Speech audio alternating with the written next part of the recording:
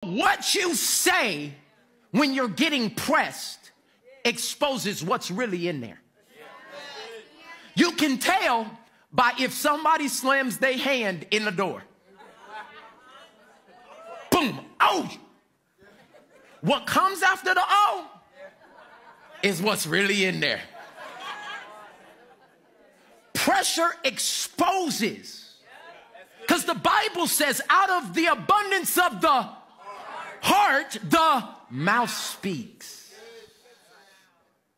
Everything you've been saying is exposing the crevices of your heart. My question to you are you talking faith?